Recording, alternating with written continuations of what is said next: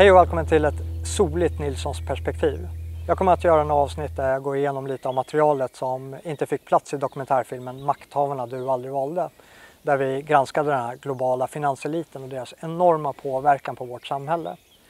Dokumentären är på cirka 50 minuter men det känns som att vi hade samlat in material för att kunna göra en 10 timmars lång dokumentärfilm.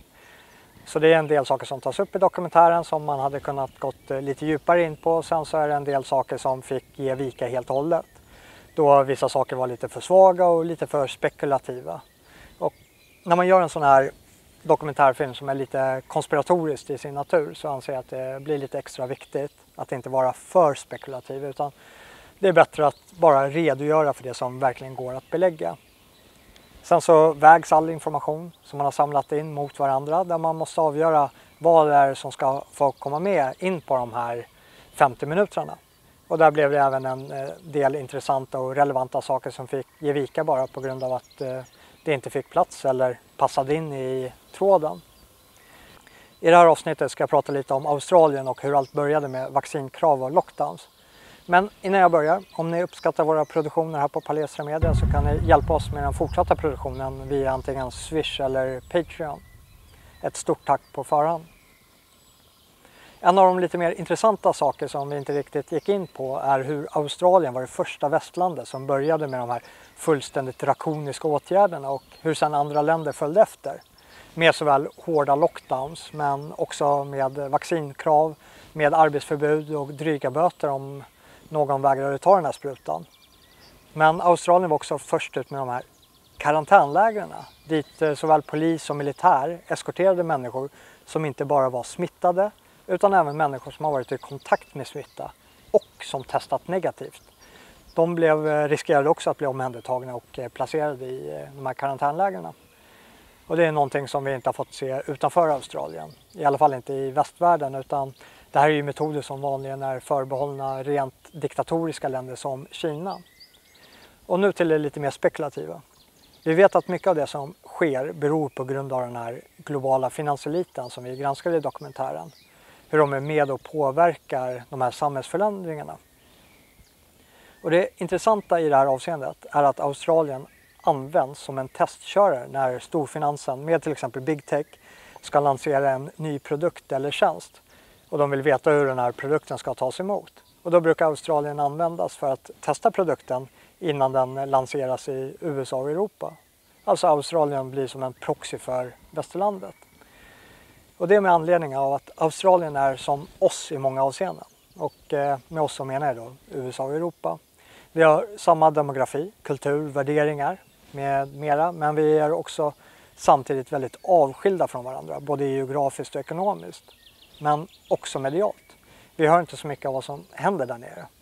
Det finns inte ett lika starkt informationsflöde och koppling som det är till exempel mellan USA och Europa.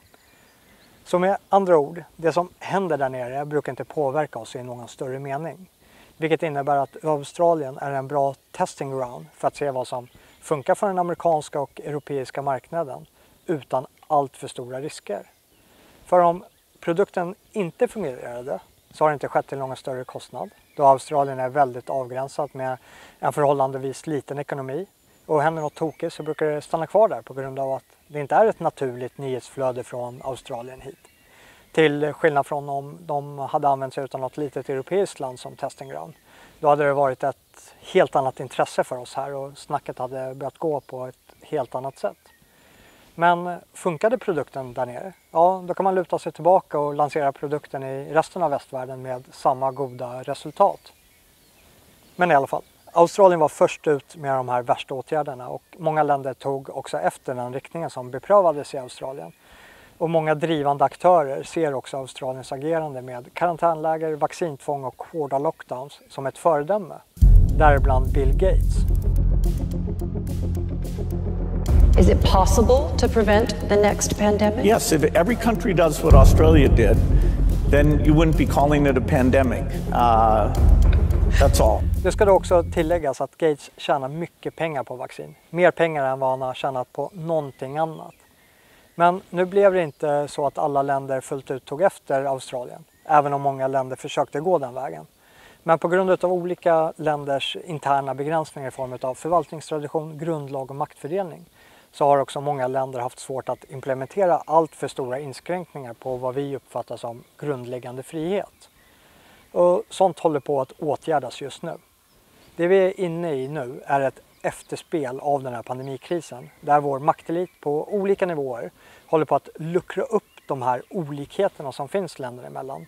Så att vid nästa pandemi, eller vid nästa globalt omfattande kris, det kanske inte alls är en pandemi utan det kan lika gärna vara en klimatkris eller en cyberattack, så kommer alla länder att agera mer strömlinjeformat än vad som gjordes under de här gångna åren.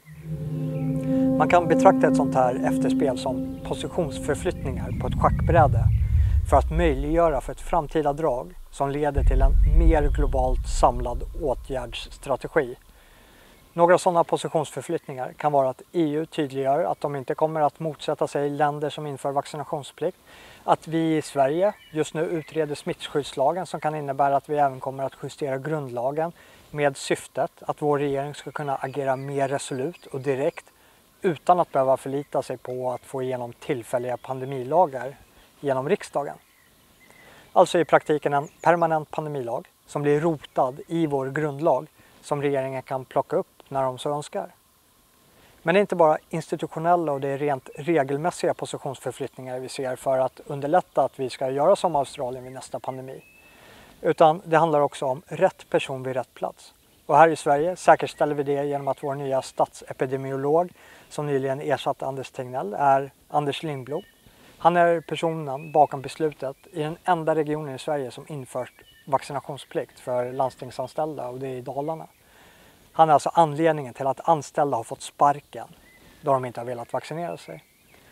Det här är dessutom i ett skeende då vi vet att vaccinet vare sig stoppar sjukdom eller smitta. Men med rätt regler och rätt människor på plats så kommer det mycket väl kunna bli som Gates vill. Att vi alla ska agera som Australien. Men för att verkligen säkerställa det så ligger det också på dagordningen och agendan att om det utlyses en ny pandemi så ska Världshälsoorganisationen ta en större samordnande roll. Och det här betyder att i ett värsta fall scenario så kan det leda till att stater gör avkall på sin suveränitet och underkastar sig de eh, pandemiåtgärder som WHO anser vara lämpliga. Gates är en av de absolut största finansiärerna till WHO och WHOs president prisar Gates vision att alla länder borde gjort som Australien. Det här borde ge er en känsla till vad vi har att vänta oss vid nästa utbrott. Och det kan vara klokt att eh, hålla sig uppdaterad med vad som händer, inte bara i Australien utan i resten av omvärlden med de här ändringarna som införs och hur olika länder förbereder sig inför nästa globala kris. Vem vet, det kanske blir samma covid-karusell igen. Vissa delar av världen har fortfarande väldigt hårda och rent utav omänskliga restriktioner. Här är det till exempel kinesiska skolbarn på väg till skolan. Men några saker att eh, slå vakt om är karantänläger som finns både i Kina och Australien. Notera gallren på fönstren. Samt eh, vaccinationsplikt med vaccinpass. Som om vi inför det här digitala ID som vi tog upp i dokumentären så kommer det vara väldigt lätt att implementera vid nästa tillfälle som WHO anser att det behövs. För har du då inte vaccinerat dig, ja men då flaggas ditt eh, digitala ID och du stängs ute från samhället. Och har vi ett sånt här digitalt ID som ska ge oss tillträde till samhället så är det också något som kan användas i många andra sammanhang än bara som ett vaccinpass. Ett sådant ID kan också ransonera vårt så kallade klimatavtryck. Alltså om vi handlar och gjort saker med stor klimatpåverkan så kan vårt ID flaggas om vi överstiger vår kvot. Och eh, blir vi av med kontanter, ja, då kan till och med saker som mängden kött regleras och ransoneras från centralt håll. Låt oss inte gå in på det här spåret, för det är ett spår som bara leder till total kontroll. Jag såg den här korta videosnutten från Kina och vi borde alla vara som henne.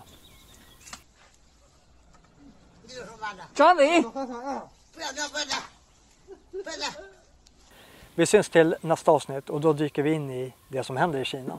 Och om Australien skrämmer er så är Kina helt klart ett hack ned i Dantes Inferno.